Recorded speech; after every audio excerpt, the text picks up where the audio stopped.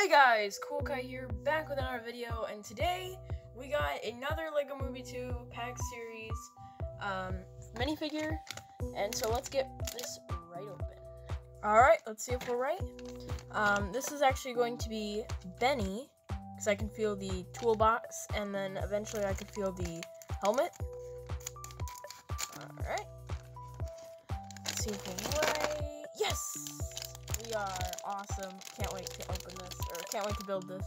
I just noticed halfway through building this, the head was already in the helmet, and I could feel something inside the helmet. And I was wondering why I couldn't put my finger in between when I'm feeling for it. Well, apparently, it's in there. It's crazy. Alright, here he is. I absolutely love this minifigure. So it kind of scared me halfway building. This torso is all scratched up, and it's actually supposed to be that way. I didn't, I forgot about that, and so it kind of scared me at first.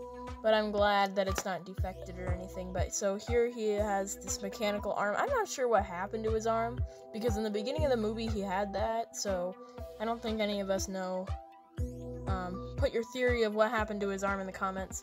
Um, but here's the back tank thing, and it's got a little crack in the helmet. Can't really can't really see that very well. It also has a game face or a war face on the back, so it's double-sided.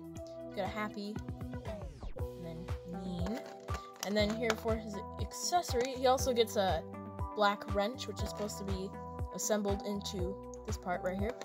Um, so that's the extra piece. And then here we have this little space icon on a toolbox because he's supposed to be like, um, what is it? Blacksmith, yes. Okay. Anyway, that is it for the video. Thank you guys so much for watching, and I will see you oops, in the next one. Goodbye.